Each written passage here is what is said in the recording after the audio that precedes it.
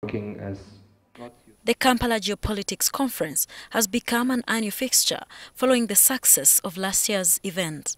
A major focus of this year's conference has been the power play in the Great Lakes region, focused on the regional dimensions of peace and conflict.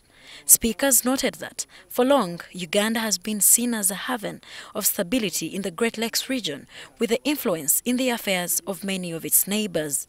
However, the geopolitics of the Great Lakes region is sometimes volatile, and this has had ramifications for Uganda.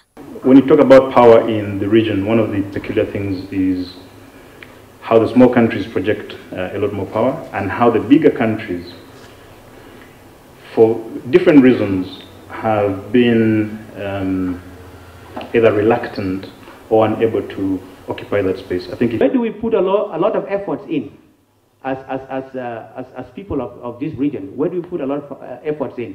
Do you want to put more effort on peacemaking, mediation? Or do you want to put more effort on peacekeeping or on peace consolidation?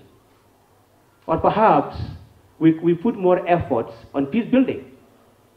The China Africa question on whether Africa is developing China or China developing Africa was a major point of debate. I don't agree that China's investment in Africa is grandeur. No, not at all.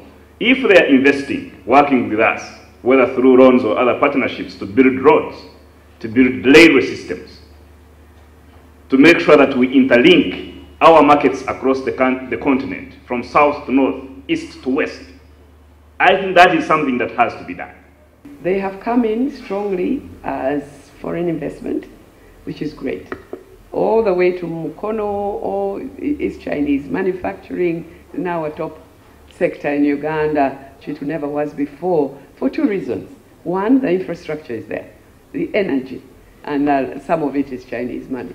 Dr. Muhammad Chigundu, the communications manager, says that the conference is important for the developing countries. We have come up with this conference as a platform of debate where people of different walks of lives from different countries, different uh, occupations, and different background come and meet and debate on issues that actually touch transformation of the societies. The outcomes of the discussions at the conference will be disseminated to different world bodies for possible inclusion in policy deliberations. Olivia Komgisha, NTV.